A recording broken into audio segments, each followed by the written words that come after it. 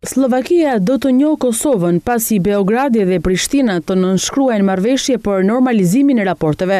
Kështu është shprehur ish-kryeministrja Iveta Radiçova në një intervistë për të përditshmen beogradase Blic. Shefja e qeverisë sllovake thotë se edhe pse nuk mund të flasë në emër të qeverisë aktuale, ajo beson që kur të normalizohen raportet, nuk ka arsye përse Sllovakia të mos mbështesë Serbinë dhe Kosovën si dy shtete të pavarura. Ajo ka nënvizuar se shefi i tanishëm i diplomacisë sllovake, Miroslav Lajçak, ka bërë shumë për këtë çështje dhe se është gati t'i ndihmojë të dy vendet për të ecur përpara. Sllovakia është një nga pesë shtetet e Bashkimit Europian që ende nuk ka njohur shtetin e Kosovës. Katër shtetet e tjera të Unionit që nuk e kanë njohur Prishtinën zyrtare janë Qipro, Greqia, Rumania dhe Spanja. Ndërkohë deri tani që kur Kosova ka shpallur pavarësinë, më shtatëmbëdhjetë shkurt të vitit dy mijë e tetë, njihet nga njëqind shtete në mbarë botën.